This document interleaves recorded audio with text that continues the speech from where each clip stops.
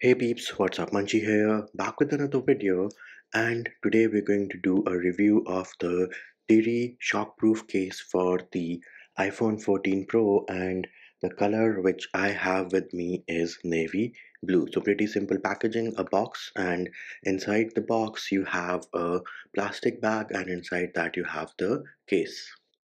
So here is the Tirriee case for the iPhone 14 Pro. Now the sides here along with the top and bottom are TPU material and they are pretty flexible. The back here is polycarbonate. Now do note you do have a translucent frosted design over here and to install the case all you have to do is line it up and then snap it into place by pressing to the all four corners so this here is the case itself and this is how your iPhone 14 Pro is going to look inside this Tirriee case. Let us start with the back and as you can see you do have a decent amount of lip action going for the camera module on the back. So if you were to place your phone on the table like so you won't have to worry about scratching the camera lenses.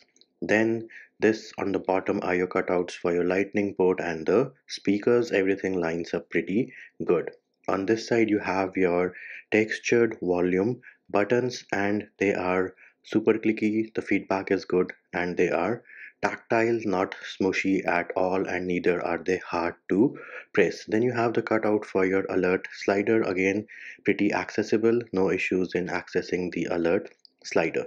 Nothing on the top. On this side you have your power button. Again it is textured and it is pretty clicky as well. No issues with the tactile feedback or it being hard or mushy. Everything looks pretty good. Moving over to the front you do have some lip action going for the screen as well. And do note i already have a tempered glass screen protector installed which means that this case over here is definitely screen protector friendly because I do not see any lifting of the screen protector from any of the edges. And the lip action I think is decent enough that if you were to place your phone on the table like this the case is going to protect your iPhone 14 Pro's display from getting scratched. Now, the only downside which I personally see is that this case is not mag safe, but your wireless charging does work without any issues and does it add any extra bulk to the iPhone 14 Pro?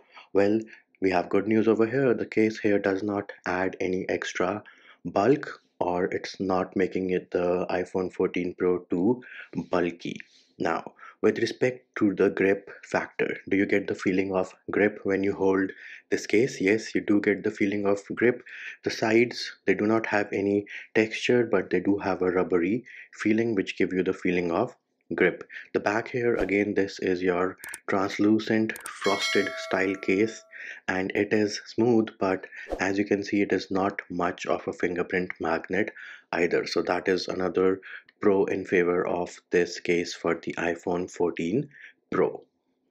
And before I forget on all four edges you have these U-shaped pockets or grooves which they say are going to absorb shock if your case falls on the corner like so so that is another nice touch which you have with this case. And of course they also claim to have anti-fingerprint coating. And as you can see the back here you do not get much fingerprints or smudges. So all in all a pretty good case for the iphone 14 pro by Tirriee. And that will do it for this review of the Tirriee case for the iphone 14 pro